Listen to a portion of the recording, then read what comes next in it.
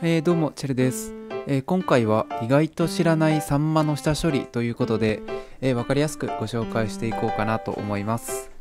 えスーパーに売ってる普通のサンマでもちゃんと下処理をしてあげることで臭みもなくなってお店みたいに美味しく焼き上げることができるのでぜひ覚えておいてください、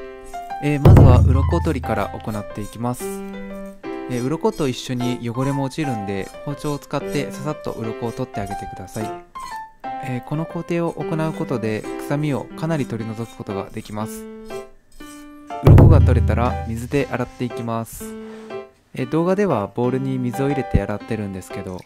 水道水で洗い流してもらえれば大丈夫です。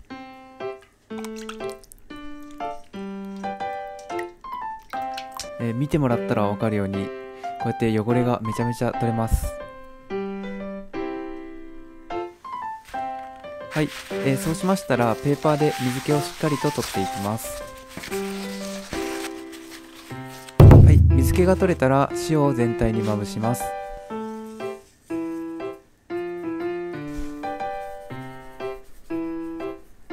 えー、そして10分ぐらい放置して水気と一緒に臭みを抜きます。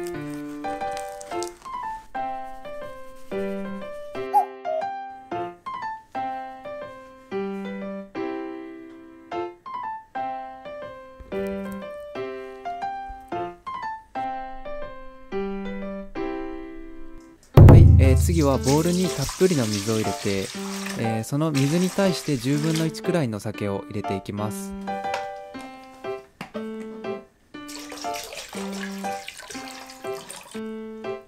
えー、そしたらそこにサンマを入れて、え塩を洗い流していきます。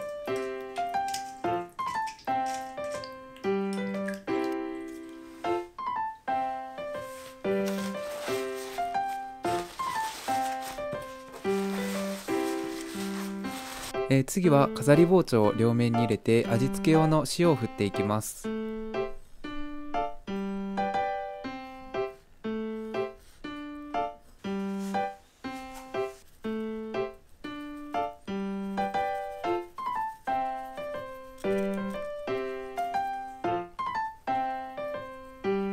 え塩は多めに振っちゃって大丈夫です。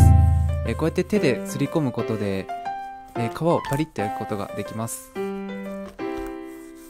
以上で下処理は終わりです。それでは焼いていきます。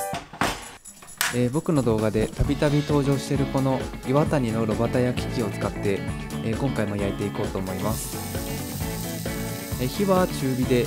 焼き時間の目安としては、え表面を5分から6分ぐらい裏返して3分から4分ぐらいですね、